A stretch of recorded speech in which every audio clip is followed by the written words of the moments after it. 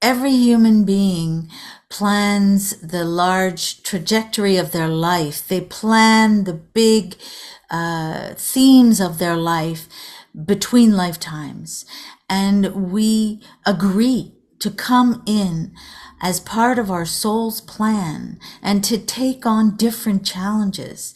We agree some lives are very short and this is appropriate. Some lives are much longer. My name is Andrea Courey. So I had the extraordinary experience of waking up one morning and seeing a vision in front of me. And I saw myself and my husband walking on a snowy sidewalk I saw that there was a car that came from behind. I saw the color of the car. I saw the make of the car. And I actually saw that this car hit us. And I heard my husband speak. I heard the words that he screamed. Now, all of this was at seven o'clock in the morning. And I then just started my day and forgot about this vision until that night. It was 10 o'clock at night and we were leaving a house where we had had a reception. There were many people in this house and we left at 10 o'clock. And as we were walking down the sidewalk, I never saw the car, but I felt the impact when it hit us. And as I was flying down the road, I heard my husband scream the exact words that I had heard at seven o'clock that morning.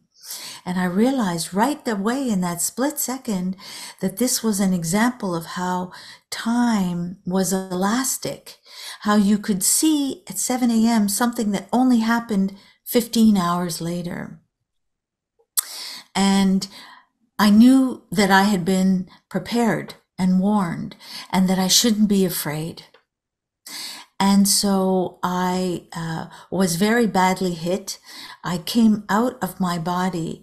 And this was the first experience, not the last though, but it was the first experience of really coming out of my body and understanding that my consciousness and who I am was totally not that body that was flat on the, the ground in the middle of the street. And I looked down at that body and I knew it was familiar, but yet there I was about nine feet above with all my thoughts and my emotions and my feelings. And then I saw the chaos because here we were, husband and wife hit by a car. We had three little children and there was a big party going on. So everybody started coming out of the house and there was a huge snowstorm. And I remember feeling very concerned because nobody put a coat on. They were all in a panic and they came out onto the street. But it was a very bad snowstorm that night. And the ambulance came and it was chaotic all around and i was trying to talk to people and nobody could hear me and i finally basically gave up on that scene. And I decided that I was just going to move away from that scene. It became frustrating. There was, I was no way I could communicate with anybody. And then as I began to lift up, I felt this magnificent heat and love and sun and light come around me and envelop me and just move me away from that scene. And then it didn't matter anymore.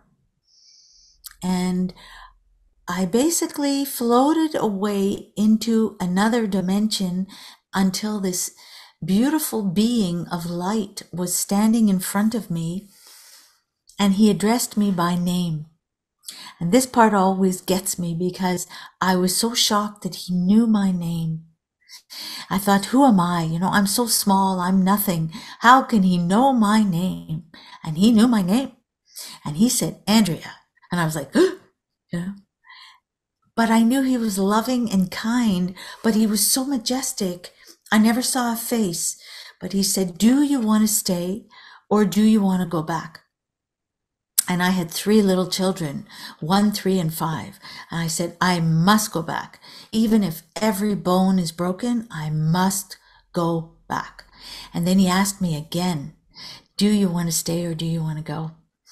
And I gave the same answer. And then I was thrown into this vortex. And I remember it perfectly to this day. You know the thing about a near death experience? You never forget one detail. You just never forget it.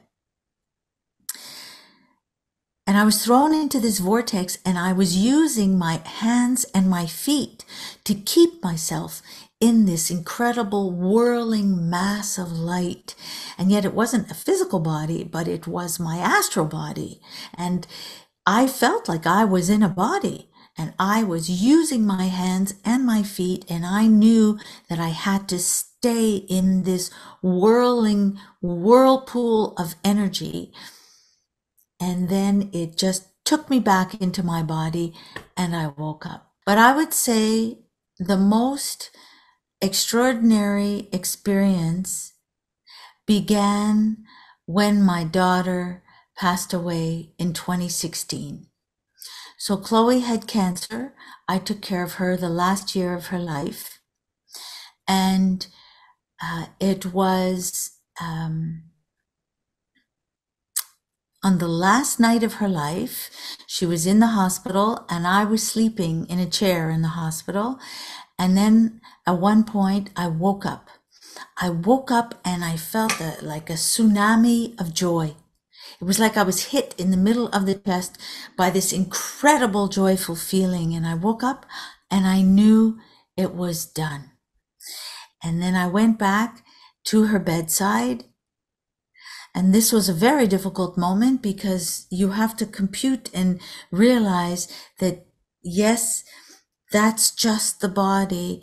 And because I had the near death experience, I was, I was much calmer probably than I would have been otherwise. And right away, Chloe was beside me right away. And she said, Mom, thank you for being so calm. It helps me to let go. And then I started talking with Chloe. And uh, you know what she said to me? This is a really beautiful thing. I learned a lot from from talking to Chloe. I learned a lot about what happens on the other side. I learned a lot about what it's like to to function without a physical body.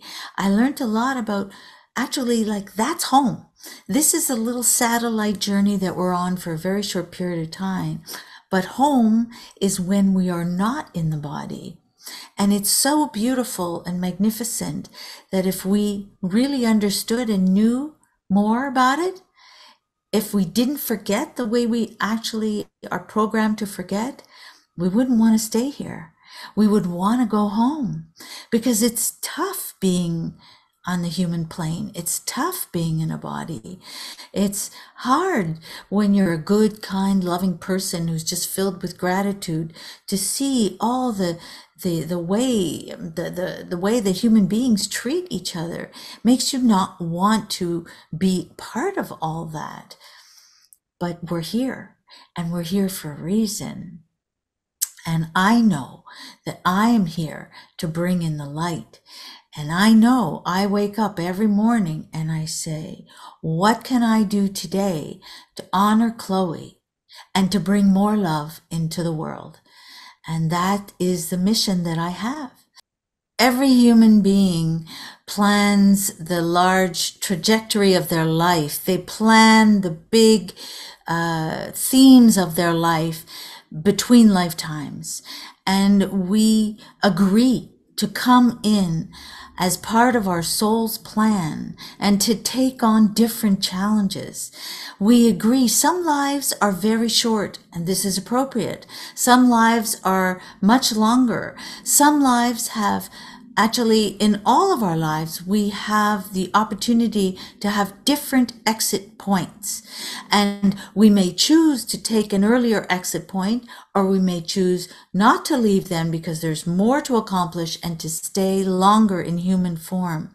But every soul comes in with a plan. And every life is of the appropriate length and all the hardships they're lessons.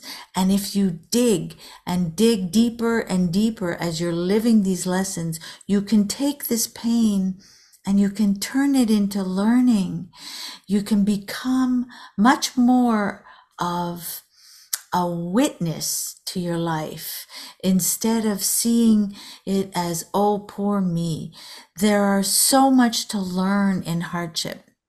And then we come into human embodiment to live that plan. Now, you would think that we would choose only a beautiful, easy life. And you know, some people, it is appropriate and they do choose an easy life. But for most of us, we choose a life that will help us learn the most lessons that we can learn so that we can advance our soul. And this is how we learn. There is a metaphor that a diamond is created from pressure. If there's no pressure, then there's no diamond. And it's the same thing with a human being. We need to have uh, situations that help us grow. And we grow when we are challenged. We grow when we face hardship. And we can choose. We may choose not to grow. We may forget completely our soul's plan. We forget completely that we have this team also to help us. But the fact is, we do. And so we come in and we start to live these really difficult situations and we forget. We forget that this is all just like a play. It's like we are all players on a stage. And today I'm wearing this uh, costume. And uh, even when I see like a priest or anybody, I think to myself, this is the costume that they are wearing for the role that they are playing. And that's what it is. If we can take a little step back, we realize this is all a play to help us learn. Sometimes people ask me, why can't I remember my previous lifetimes? Why do I come in here with such amnesia and I forget? I forget that I've actually made a plan. I forget the relationships that we have agreed to beforehand. And the answer is that you need to forget. Because if you were remembering your past lives, you would not be able to fully live in this one. And it's the present moment that matters. It's really, there's an expression that says life is a master class, and it's true it's difficult being in a body and it's difficult going through so much hardship and and just on personal level with relationships and disease and wars and but they're there to help us learn. And when we look around and we see that human beings are still killing other human beings, people are still hurting other people, we have not learnt we have not learned enough. And so the challenge for some of us that see this and know that this is um, basically a school is to stay in the light. And it's a tough challenge. It's really not easy. It means that you have to distance yourself from all the chaos and stay in the light. I believe my daughter said it actually uh, after she passed. And she said, Mom, all is as it should be. And this is a difficult thing for a parent to hear and to accept uh, when they lose a child. And this is a difficult thing for someone to accept uh, if they are living with great hardship. How can you accept that all is as it should be? But if you take a different stand, one thing you control, you may not control the world outside of you, but you control your thoughts. You control your own thinking. And this is where it begins. This is where your healing begins, is what goes on inside of you. And that's why the work that I do is work to help people raise their own vibration and just feel better, feel more peace, feel more well being, lighter, calmer, sleep better. And I do this with sound. I do it with my voice and I do it with different instruments as well. I do it with music. And I just wanted to give you a short sample of one instrument, just one. This is this is a quartz crystal bowl. And the idea when you hear this vibration, it has extraordinary properties, crystal. When you hear this vibration, normally we would do a little uh, preparation for sound meditation. We would do some breathing and we would do a prayer and, but we're just going to listen to the vibration, but just, just listen to it and just follow it and breathe in the vibration. Here we go.